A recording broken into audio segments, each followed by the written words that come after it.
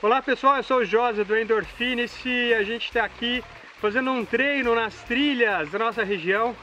Trilhas inclusive por onde vão, vai passar a Ultra Trail Ribeirão das Pedras no dia 20 de agosto, distância de 8, de 23 e 50 quilômetros. Se inscreve aí na que você achar que está mais rápido para participar. Bom, a gente está fazendo um treino aqui bastante demorado, já, a gente já está com várias horas de trilha, vários tipos de trilha, molhada, seca, todo mundo. E acabou, acabou minha água. A minha água acabou agora há pouco, a água trouxe na mochila. E eu fiquei sem água, e, mas eu trouxe uma coisa legal, olha aqui. Clorim, tá vendo?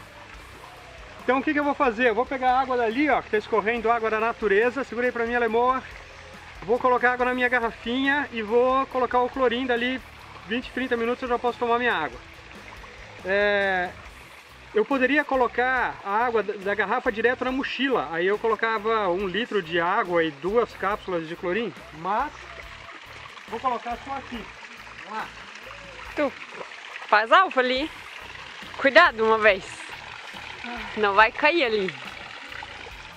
Vai se pegar uma água. Não escorrega. É assim, pessoal, essa água aqui ela não é uma água suja de esgoto, nada, apesar da minha garrafinha estar tá bem suja do barro, da trilha, mas ela é uma água é, da natureza, né? A gente já tomou essas águas várias vezes e depois que a gente toma, tem um episódio em que a gente, segura aí pra mim, Alemô, que a gente precisa tomar essa água, o que, que a gente faz? A gente toma um remédio para verme. Mas se a gente puder prevenir, ao invés de remediar, é melhor. Então, joguei a capsulinha ali dentro. E agora é aguardar ela dissolver e fazer o efeito. Lixinho aqui, ó, sempre, nunca deixar lixinho na trilha e fazer efeito. Então é isso, tá aqui, muito legal. Você encontra isso em vários lugares para comprar, casas de montanhismo, aventura. E é, é, bacana, ele vai dissolver aqui dentro da minha garrafinha, vai deixar minha água potável, pronta para beber.